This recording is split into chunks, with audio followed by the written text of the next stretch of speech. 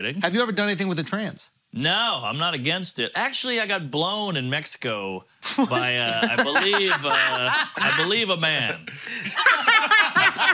I don't ask questions. Did you sneak him into the shelter? Or No, no. Me and my friends went to Tijuana, as you do. We were like 18, whatever.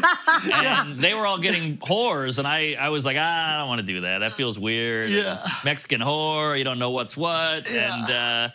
Eventually, I was like, you know what, fuck it, and I went to this bar and I got a, I got blown, and I remember the guy had rock hard tits, and I touched his hair, and he was like, don't do that because it would move. Yeah. And uh, I was like, okay. And then I walked out and I was feeling pretty good. And my friends were all standing outside, like, you didn't go in that bar, did you? I was like, yeah. And they're like all busted out laughing. So it was a quiet, quiet drive home. Yeah.